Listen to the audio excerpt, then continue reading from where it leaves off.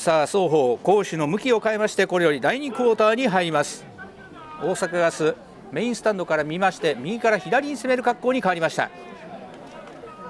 ボールオンは相手陣38ヤードから大阪ガスセカンドダウン6で試合再開です。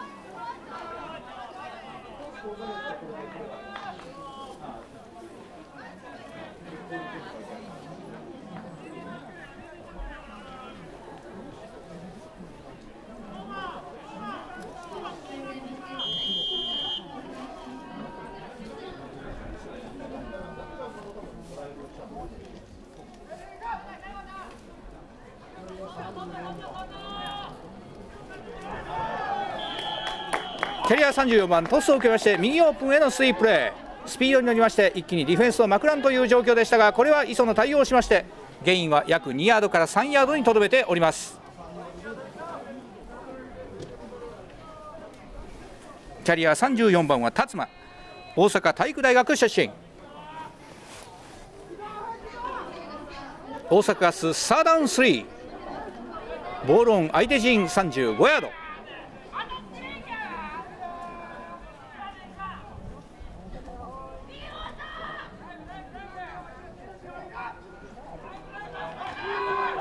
さあ中央へのランプレーさあ力と力の攻防果たして結末はどうでしょう？大阪ガスファスター。ここで大阪ガスは何枠の突破力をかけて中央へのランプレーを展開しました。磯野もこれに対して真っ向勝負で挑みましたがこの勝負は大阪ガスに軍配あり攻撃権更新となっています。大阪ガス相手陣32ヤードからファーストダウン点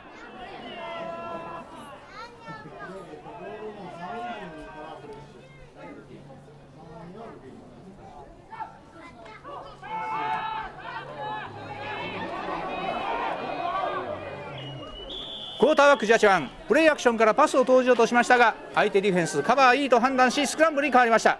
結果的にこの判断よく5ヤードほどゲインとなっています。スクランブルを決めました。クォーターバック18番は岡。関西大学出身のチームキャプテンです。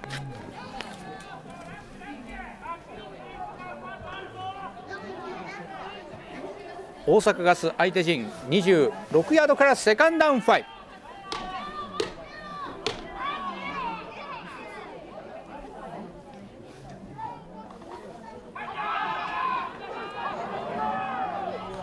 中央へのランプレー何枠？28番。ハンドオフから左オフタックル付近駆け上がり約4ヤードのゲインとなっています。しかしサードダウンに変わります。キャリア28番は北沢鳥取大学出身。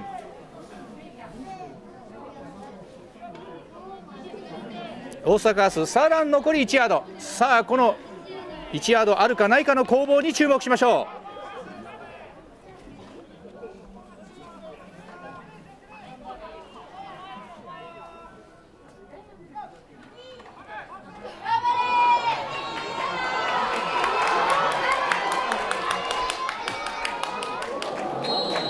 トリックプレーここで大阪ガスは左に展開しました。10番にパスを投じました。10番そこから前進するかに見せましたがタックルされる瞬間に後方から走り込んだ。1番にピッチしました。前パスは1回しかできませんが後ろパスは攻守ともにどちらでも何回でもできます。ラグビーと同じくこの権利を使いまして1番がそこからキャッチアンドし一気にゴール前に入りましてファースター見事トリックを決めましたのは大阪ガス10番の谷田京都産業大学出身。そしてそのピッチ受けた1番の高江南大学出身です。さあ大阪ガスファースト残り3ヤードの状況。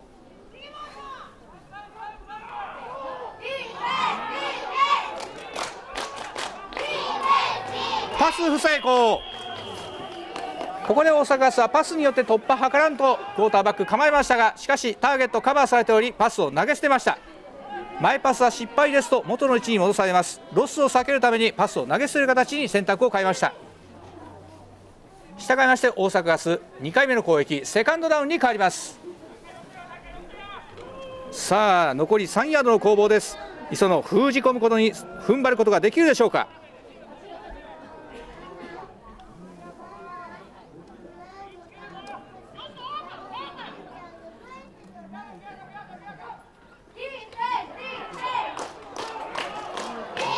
さあこの攻防どうか？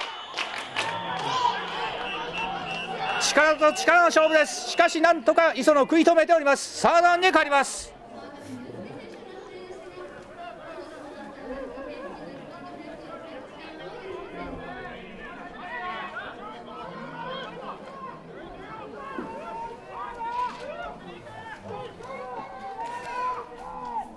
さあゴール前2ヤードと変わっています。大阪ガスサーダントゥーゴール。残り2ヤード。さ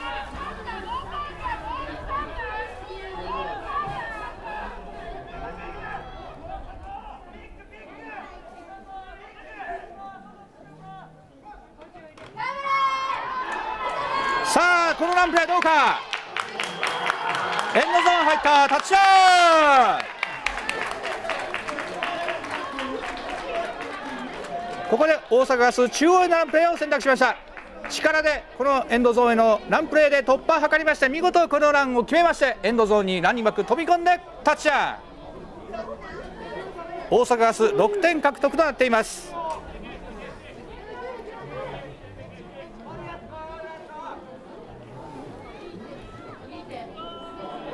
そしてトライフォーポイントに入ります。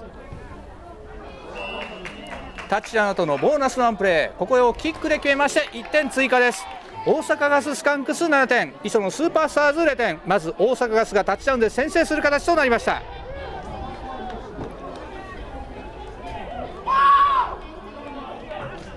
アメリカンフットボールの得点パターンは大きく分けると2通り。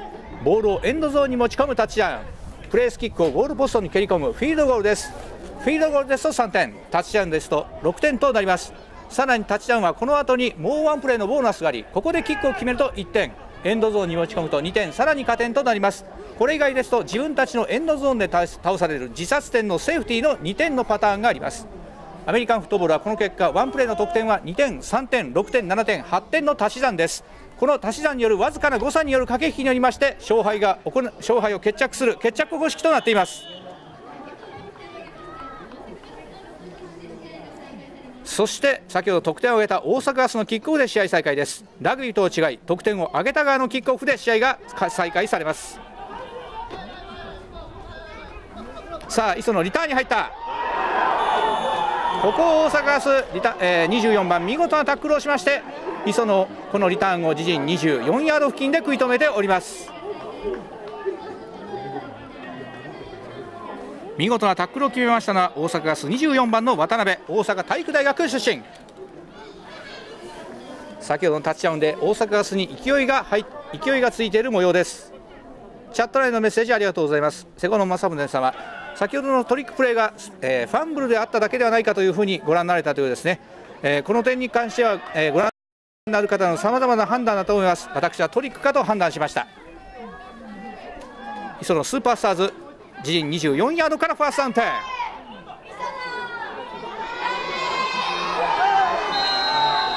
パス不成功。パス不成功の判定です。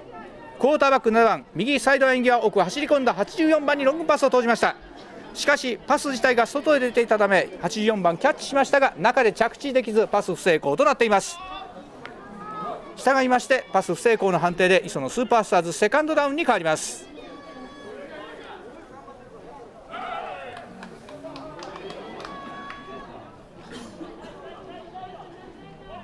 磯野スーパースターズセカンドダウン10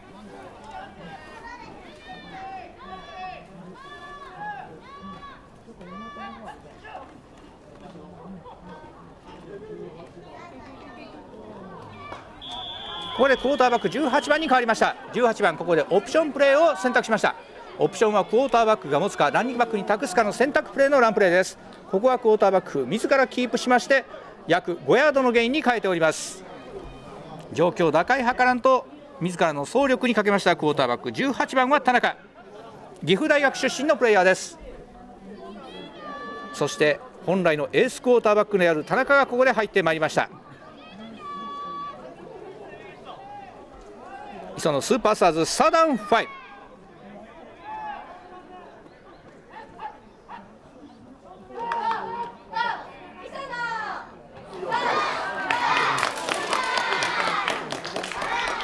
成功ファーストダウン。クォーターバック18番左から入ってきました。ワイドレシーバー。15番にパス。15番タックル受けながら見事キャッチしまして攻撃権更新です。いそのスーパースターズファーストダウン。素晴らしいパスを投じたクォーターバック。18番は田中。岐阜大学出身。取りました。15番は伊藤。北海道大学出身です。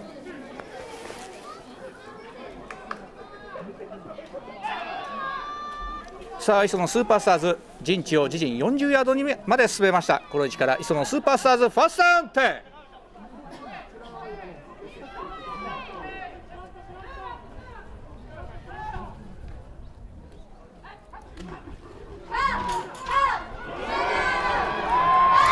ナイスランランニングバック27番今度はハンドオフを託されまして左オフセンター付近を突破。見事なスピードに乗りまして一気に8ヤードから9ヤードのゲインに変えております。ここでホイッスルが鳴っています。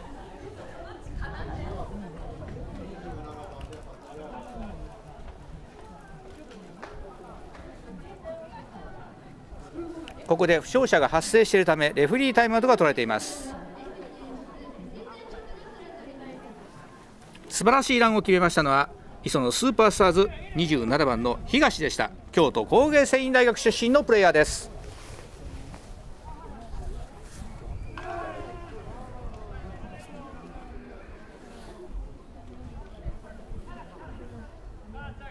この配信は X2 ウエスト X3 ウエスト全19チームの合同企画によって行われております。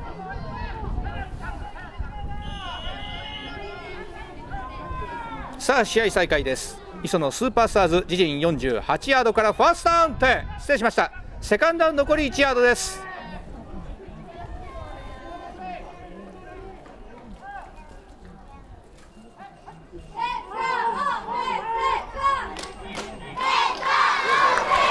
パス成功パスタクォーターバックジャッジャン今度は内側を切れ込んできたタイトエンド846番にパス。これを86番見事にキャッチし攻撃権更新です。磯野スーパースターズファースター。クォーターバックは18番の田中。岐阜大学出身。取りました。ワイドレシーバー。86番は神田。姫路工業大学出身のプレイヤーです。現在は兵庫県立大学となっております。姫路工業大学出身のプレイヤーがここで活躍しています。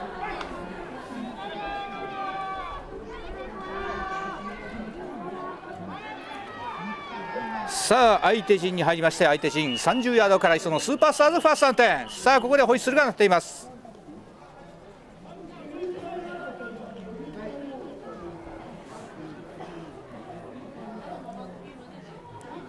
ここで審判団現在の状況確認をするために審判団によるクルーによるタイムアウトが取られています。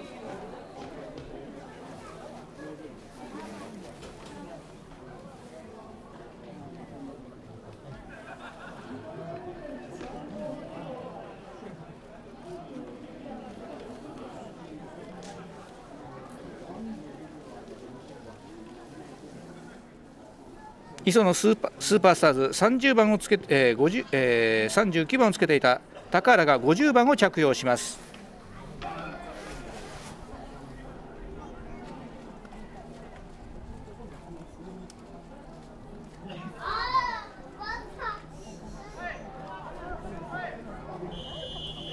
試合再開です。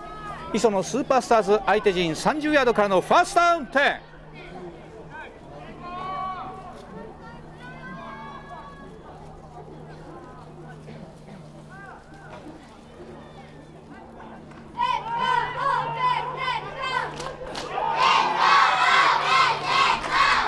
QB サークジャジャンここでロングパスを投じようと構えました。しかしその隙を見計らって大阪ガス58番が QB サークパスを投じる前に仕留め5ヤードロスに変えています。見事 QB スタックしましたのは大阪ガス58番の井原です。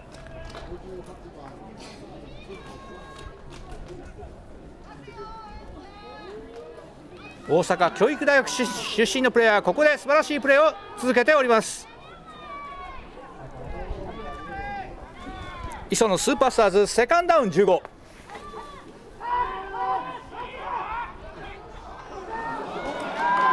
パス成功クォーターバック15番。今度は内側に切れ込んだ。84番にパスを通し約10ヤードのゲインとしています。見事キャッチしましたのは磯野スーパースターズ84番の五十嵐。東北大学出身。しかし攻撃権更新にはまだ至っておりません。サーダウンに変わります。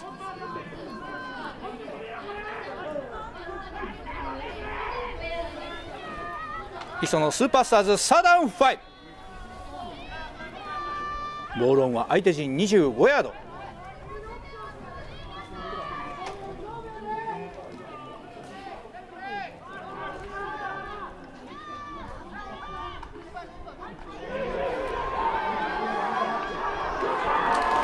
これは大阪ガスナイスディフェンスここでクォーターバック18番ハンドオフオプションで自らキープ展開を図りました。しかしこれを大阪ガス13番見事に対応しロスに変えております。フォースダウンに変わります。素晴らしいディフェンスを見せ最終にタックルをしましたのは13番の安田。関西大学出身です。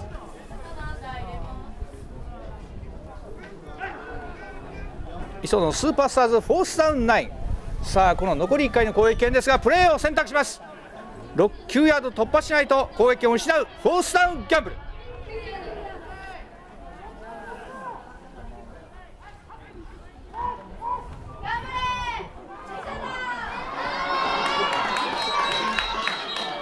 パス不成功。ここでクォーターバック18番一気にエンドゾーン狙わんというロングパスを投じようとしましたが大阪ガスのディフェンスがこの腕をはたき落としパス不成功に変えました。4回目の攻撃失敗となりますのでここで攻守交代となりまして大阪ガスの攻撃に変わります。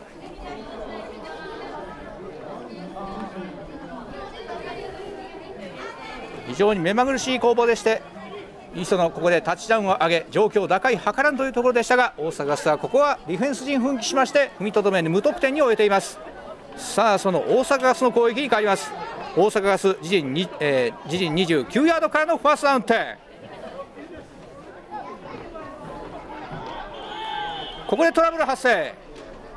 クォーターバックへのラインからのスナップが乱れクォーターバックこれをその位置で抑える形になりました。攻撃権は確保しておりますが結果的に約4ヤードロスに変わっております。ここでホイッスル。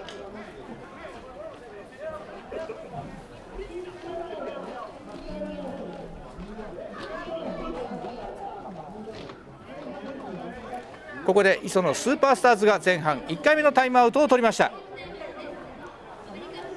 アメリカンフットボールは双方ともに前半後半に3回ずつタイムアウトを取ることができます。磯野残り時間が現在前半1分47秒となっております。自分たちの攻撃する時間を確保せんとこの段階でタイムアウトを取りました。この配信は X2 ウエスト X3 ウエスト全19チームの合同企画によって行われております。多くの企業様そして個人の方々のご寄付によりましてこの企画は成立いたしました。皆様のご好評大変感謝申し上げます。私も素人でありますためにどうしても配信の内容はプロの方には至らない点多々ございますができる限り皆様のご期待に添えられるよう全力を尽くしたいと思います。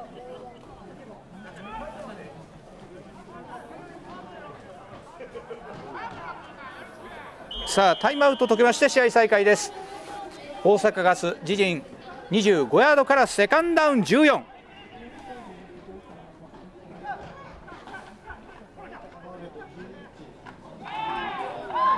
成功まず外に展開していたレシーバーにヒッチパス真横に近い前パスを投じました。ここからキャッチアンドラン図らんという選択でしたがしかしこれは磯野対応しノーゲインに変えました。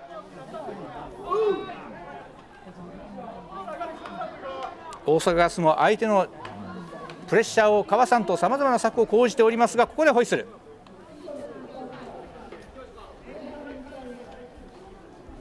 ここでプレーが終了するや否や磯野前半2回目のタイムアウトを取りました。できる限り時間を確保せんとここでタイムアウトを投入しております。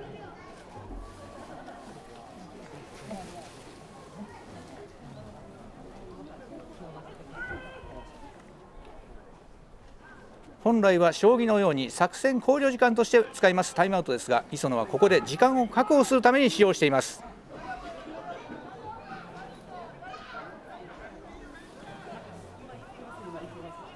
さあこの選択が果たして功を奏するでしょうか。大阪ガスサーダウン14で試合再開です。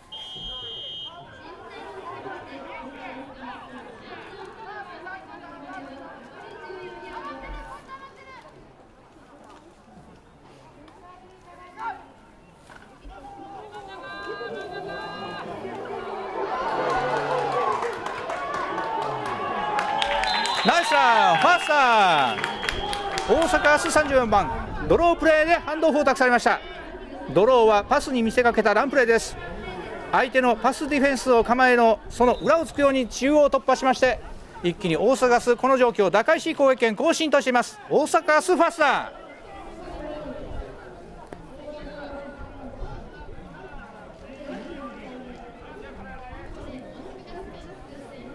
ここで大阪ガスが前半1回目のタイムアウトを取りました。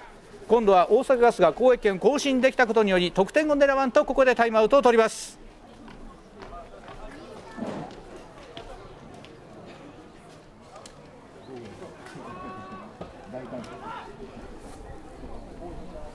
先ほどまでは大阪ガス不利な状況ではありましたがここで中央付近まで戻したことにより得点を狙えるチャンスがありと判断しました。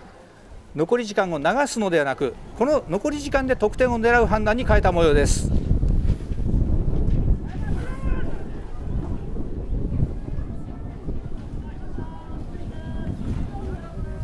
大阪ガス自陣46ヤードからファーストダウン10前半残り時間は1分27秒。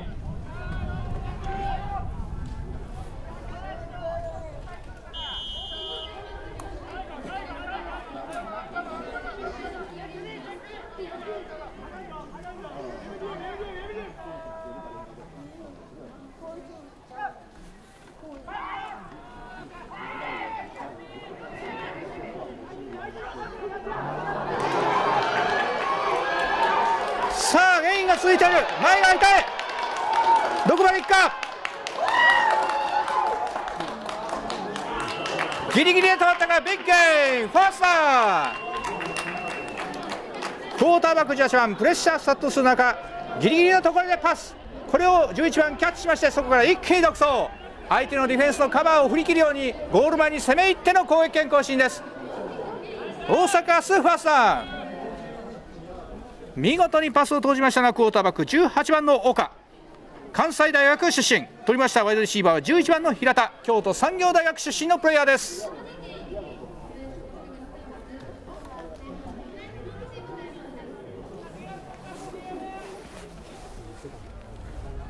クォーターバックでありながらチームキャプテン兼任という非常に厳しい重責を背負っている岡ですがここでその責任果たさんと素晴らしいプレーを決めました。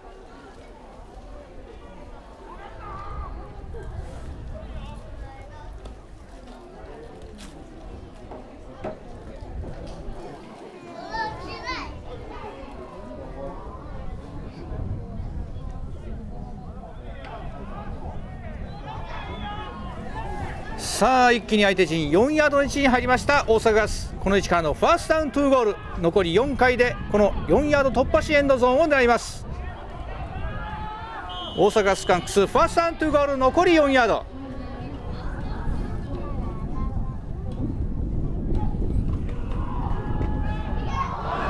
パス不成功。ここで一気にエンドゾーンになりました。ランプレーをフェイクにしましてレシーバー10番へのパスでしたがこのパスはタイミング合わずパス不成功となっています。ダウン1つ変わりましてセカンドダウンに変わります。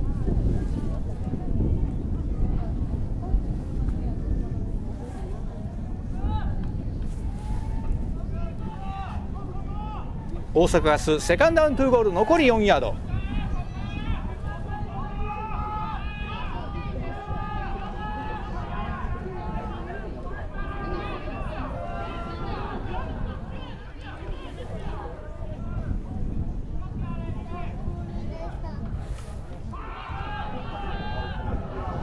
パス不成功。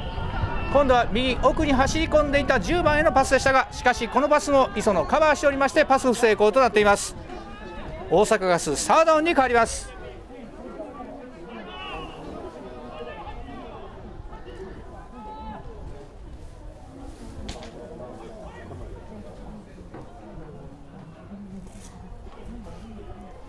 さあ大阪ガスの攻撃回数は残り2回。相手前相手ゴール前4ヤード。大阪ガスサーダントゥゴール。残り 4, 4ヤードです。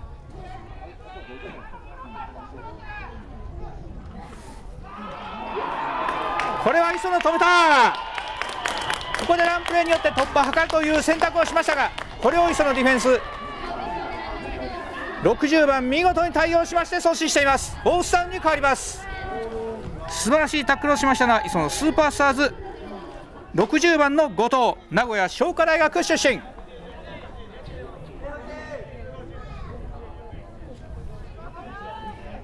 さあここで大阪ス最後の攻撃権フォースダウンをどのように行使するでしょうか。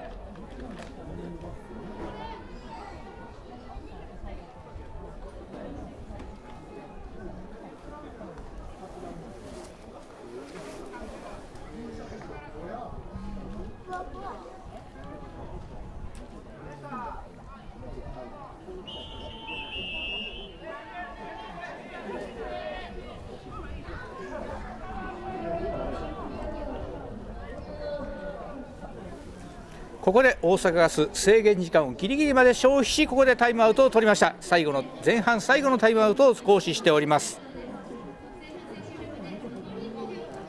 残り時間5秒の段階でタイムアウトを取りこのワンプレーで前半を終えるという状況を作りました。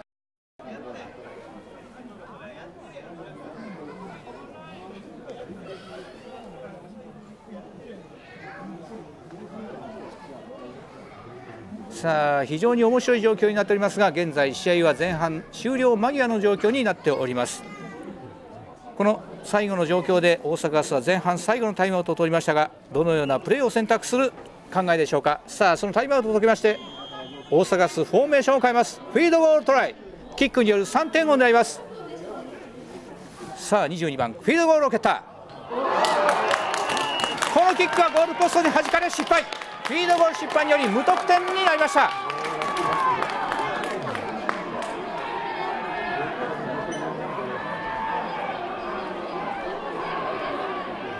そしてここで前半の時間がなくなりました。クロック操作誤りタイマ、えー、時計が現在ありましたがここで前半終了です。